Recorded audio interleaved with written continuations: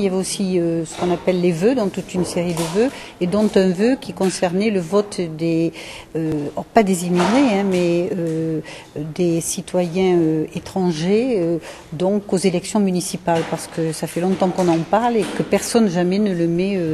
ne, le met en, fonction. Donc on a émis ce vœu tout en rajoutant qu'effectivement, du moment qu'ils voteraient aux élections municipales, puisqu'ils ont des devoirs, c'est-à-dire ils travaillent, c'est c'est-à-dire qu'ils paient des impôts, ils cotisent à l'assurance maladie, ils n'auraient pas le droit de voter, donc tout en estimant qu'effectivement, puisqu'ils voteraient aux élections, enfin, si c'était voté par les parlementaires, parce que ça n'est qu'un vœu d'une municipalité, et, que si donc euh, ce vœu passait, bien évidemment la notion d'éligibilité se poserait aussi, puisqu'en votant aux élections municipales, de fait, euh,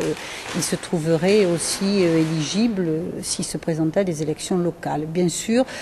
sans, sans, évidemment, puisqu'il n'aurait pas la nationalité française, de, de pouvoir effectivement se voter pour les élections qu'on appelle nationales, c'est-à-dire les parlementaires et la présidence de la République.